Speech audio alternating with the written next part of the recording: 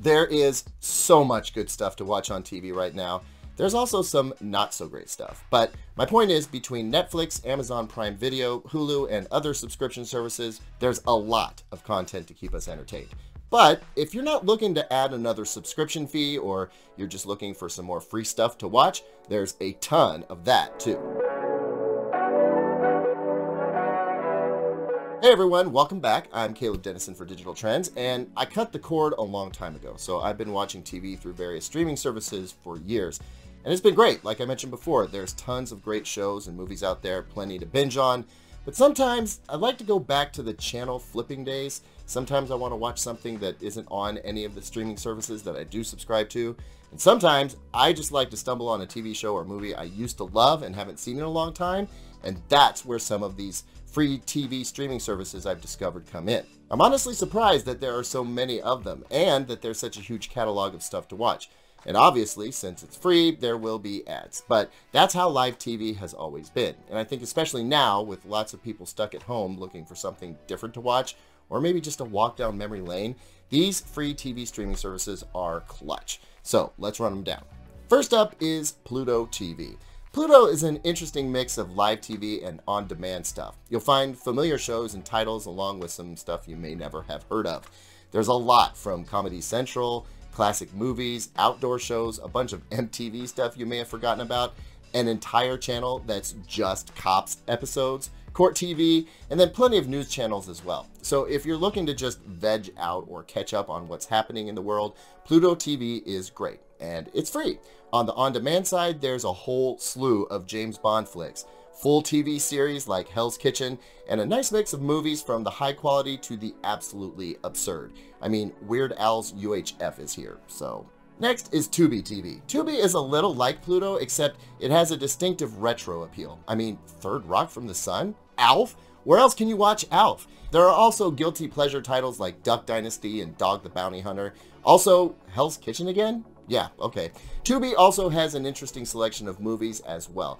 There's some solid stuff in there like Blood Diamond, but the real theme seems to be B-list movies with what are now A-list actors. So if you like a good dose of before they were famous, Tubi is an awesome stop. Just go check it out and I think you'll know if it's right for you. Onward to Crackle.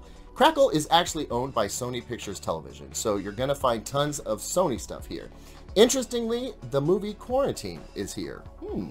There's also some fun retro stuff here like Barney Miller, The Partridge Family, and Parker Lewis Can't Lose. I'm talking to my fellow Gen Xers here. Oh, also Forensic Files, not just for when you're stuck in a hotel room.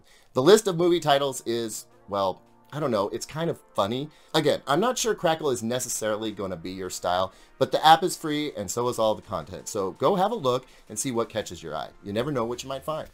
Next is one of my personal favorites, Vudu. Vudu has evolved a lot over the years. You can still use it as a digital movie locker, so if you have Blu-rays or DVDs with digital download codes, you could store them at Vudu.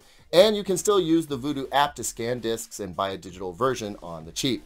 But these days, Vudu is better known for offering brand new releases for rent or purchase. What a lot of folks don't know is that Vudu offers a generous amount of free content, again, with ads. Hit the free tab and Oh, look, there's Hell's Kitchen again? What is it with Hell's Kitchen?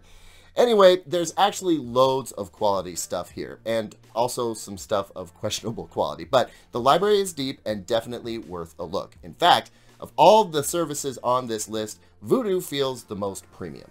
IMDb TV is next on my list, and I think the fact that the movie database site also has a free streaming service may come as a surprise to many of you. Again, an eclectic mix is the theme here, with Julia Roberts in Eat, Pray, Love, sitting right next to Will Ferrell in Elf, and then Little House on the Prairie, right next to good old Bloodsport.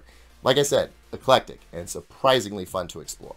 You'd think that would be enough, but no, there's actually more.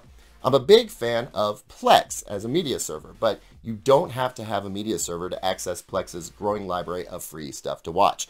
Sometimes you just need some OG Teen Wolf or get depressed with leaving Las Vegas.